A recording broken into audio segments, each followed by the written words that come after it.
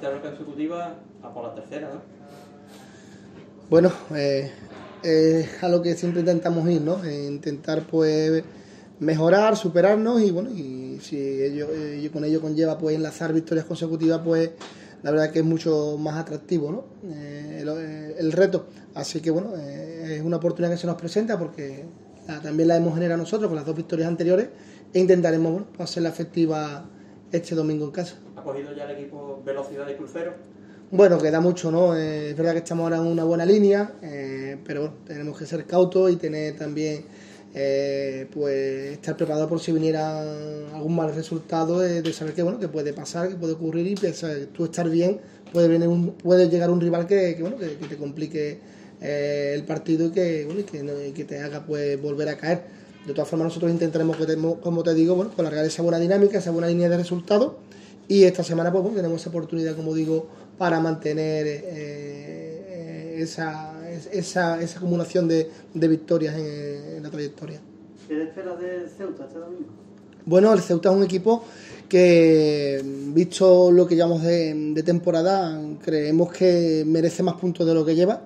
Eh, ha habido partidos en los cuales bueno, pues ha merecido eh, conseguir alguna victoria en la cual a lo mejor pues, solamente se ha llevado un empate y es un equipo además que bueno que con la última victoria en casa en, además en, lo, en el último minuto prácticamente al final del partido bueno pues le puede haber dado eh, ese plus de confianza que, necesitaba ¿no? porque un, una plantilla un, un, equipo con una gran plantilla con muchas posibilidades en el banquillo sobre todo en ataque tiene un gran potencial y sabemos que bueno que es un, un equipo que en cuanto despierte pues puede bueno, eh, puede dar muchos problemas a todos los rivales eh, José, el, el, inicio del partido va a ser un poco carrusel de emociones para el equipo y para la afición porque se os va a entregar el, el trofeo de campeón de la temporada pasada, también habrá un homenaje a Edu Villegas. Eh, os, ¿Eso os puede despistar a, a, la hora de empezar el partido en los primeros minutos? Bueno, seguro que el míster del Ceuta, como nosotros, los entrenadores no somos muy... No nos gustan mucho esos homenajes o eventos previos a los partidos porque, bueno, al final lo que tenemos ganas, sabemos que nuestros jugadores que tienen ganas de competir, de salir al campo y, y, tenemos ganas de que empiece ya, ¿no? Y eso por lo que hace es que para el, después de venir de calentar, de entrar en el, en el vestuario y volver a salir, pues tener que esperar 5 eh, o 10 minutos lo que tarden esos eventos, pues eh, siempre nos parece que puede distraer a nuestros jugadores, pero bueno, al final nos puede ocurrir a ambos ambos equipos y seguro que al entrenador del Ceuta tampoco es algo que le guste porque nos suele pasar a todos los entrenadores, pero bueno, es algo que hay que respetar, que son situaciones que hay que, que entender y que, bueno, que tendremos que, esperar lo que, sea conveniente y, y, intentar pues empezar igual de enchufados que siempre. ¿Afrontar este partido, José, en zona de playoff le da más seguridad y confianza al equipo? ¿O, el, ¿O es lo mismo a la hora de afrontar un partido? Mm, Bueno, no, más que nada no es el verte en zona de playoff porque nosotros ni siquiera hemos hablado de eso esta semana. Simplemente lo que te da seguridad es que bueno que ves que el esfuerzo, el sacrificio, eh, lo, que, lo que exponemos en el campo y, y, el trabajo bien hecho, bueno, pues da su fruto y eso se convierte en resultados positivos y eso es lo que realmente pues hace que el equipo pues bueno eh, gane en todas esas facetas o en esos factores. Eh, después el que te vea eh, más arriba, más abajo, al final es un poco circunstancial y es, es, variable, ¿no? Puede variar de una jornada a otra. O en dos, tres jornadas puedes verte mucho más arriba y después verte más abajo a la inversa. Así que nosotros lo que eh, realmente nos basamos en las sensaciones eh, semana tras semana y si encima se acumulan durante un tiempo, pues es verdad que esas sensaciones pues, se van reforzando de manera positiva. ¿Cómo está Mayo? Te había preguntado, que el domingo pasado no estuvo, pero esta semana ya estaba entrenando con el equipo con cierta normalidad, no sé si llega para el domingo. Sí, no, la idea en principio es que no tenga problemas. Eh, es verdad que la semana pasada, no, bueno, no, como ya sabemos todos, pues no, pudo, no pudo participar para, el encuentro de Las Palmas. Esta semana ha sido eh, paulatino o paulatina en su vuelta. Eh, y ayer, bueno, hizo una parte con el grupo eh, y una parte fuera con Ale, ¿no? el preparador físico, y trabajó también con, con Miguel.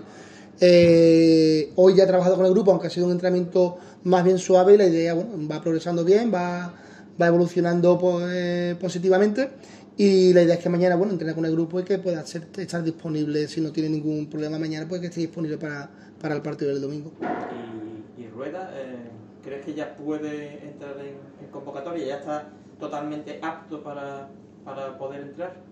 hay que tener en cuenta con Alex que bueno que se ha llevado más de un mes eh, fuera de, los entrenamientos. Es verdad que esta semana ya eh, ha entrado con total normalidad con el grupo, además a, un buen nivel que nos ha sorprendido, pero bueno, sí es verdad que necesita un proceso eh, de adaptación y, tendremos que valorar si bueno si le alargamos un poquito más para que bueno para que vaya mm, asentando esas sensaciones de en sí mismo en cuanto a la rodilla, que la verdad que, que está bastante bien, pero bueno eh, creemos que quizás una semanita más de preparación pues le vendrá bien a él en todos los aspectos. En cualquier caso, positivo, ¿no? Que vaya recuperando el jugador. Eso no está más cero que lo hemos visto ahora y van dando ya una semana después de, operarse tan, tan tranquilos.